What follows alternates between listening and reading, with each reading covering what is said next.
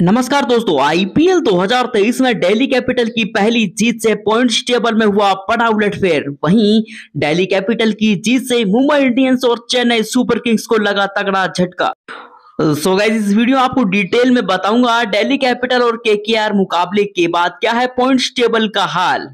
तो वीडियो को लास्ट तक ज़रूर देखना। अभी तक चैनल को सब्सक्राइब नहीं किया तो फटाफट से कर लीजिए सब्सक्राइब बेल आइकन ज़रूर प्रेस करें।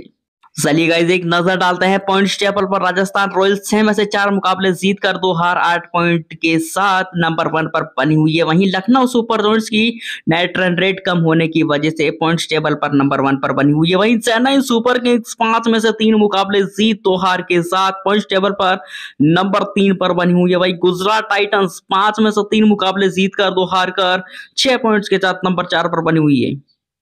वहीं आरसीबी ने पंजाब को हराकर पॉइंट्स टेबल पर नंबर पाँच पर अपना स्थान मज़बूत कर लिया है। वहीं मुंबई इंडियंस की टीम नंबर छह पर बनी हुई है। वहीं पंजाब किंग्स इस मुकाबले को हारने के साथ ही छह मैच तीन जीत, तीन हार के साथ पॉइंट्स टेबल पर नंबर सात पर बनी हुई है। वहीं के की टीम लगातार तीन मुकाबले हार चुकी है।